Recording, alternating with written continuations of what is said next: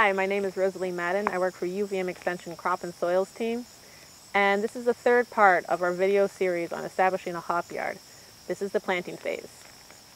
Normally, hops are grown from rhizomes. However, because this is a research trial and we want to make sure that we had established a hop yard that was disease-free, we got our starts from our collaborator at Washington State and then transplanted them here. It took them a long time to propagate them, so we planted in the beginning of August, whereas normally you plant in the spring. Our research consists of a variety trial where we are trialing 20 varieties. Those 20 varieties are Centennial, Fuggle, Mount Hood, Newport, Nugget, Chinook, Galena, Vanguard, Sterling, Perle, Willamette, Glacier, Hallertau, Liberty, Cluster, Crystal, Santiam, Tettnang, Saaz, and Cascade. When you're planting hops from rhizomes, you want to calculate for between 40 and 50 square feet per hill.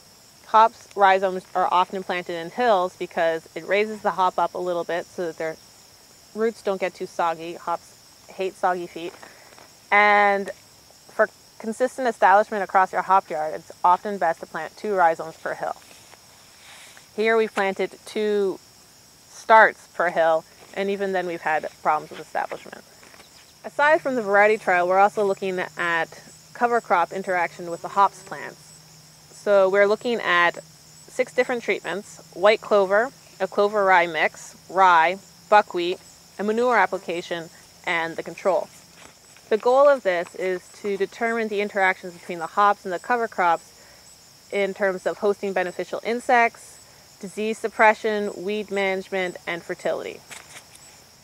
Because we planted so late, we're not actually going to train the vines this year, but stay tuned for our next installment where we are going to examine the training and trellising of hops and also going to design a hop harvester.